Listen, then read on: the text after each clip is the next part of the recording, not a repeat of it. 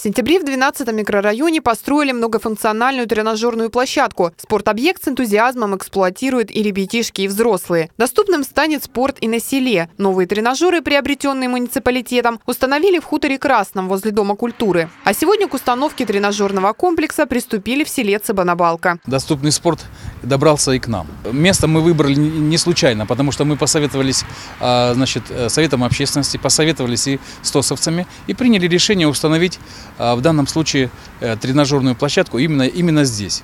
А, где э, жители потом активно поучаствуют в этом и благоустроят эту территорию, высадят деревья, а, тротуар мы сделаем, отсыпем и будем развивать э, место рядом с администрацией Приморского сельского округа и в дальнейшем планируем здесь сделать парк. К слову сказать, сам глава округа решил подать пример селянам и приходить сюда заниматься спортом. В Цыбанабалке немало талантливых спортсменов. Илья Белоусов занимается велоспортом. Про физподготовку тоже не забывает. Правда, раньше приходилось ездить в город на набережную. Я как бы люблю спорт. Вот.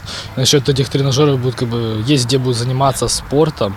Вот по утрам, например, заниматься зарядкой. Ну, хорошее дело. Будет легче, в город не надо вот мотаться. Не только школьники, но и взрослые появление тренажерной площадки восприняли с восторгом. Давно стоял вопрос о том, чтобы, конечно, организовать досуг не только детей, но и, скажем так, молодежи, тех же молодых мамочек. А сейчас это будет просто замечательно. Вот они придут, детки себе гуляют на этих вот горках, и, а мамочки попробуют себя в, в рамках того, насколько они спортивно подготовлены. Тренажеры еще не успели установить, а подросткам уже не терпится их опробовать. Село меняется, этого нельзя не заметить. Например, недавно на улице Садовой произвели ремонт тротуара.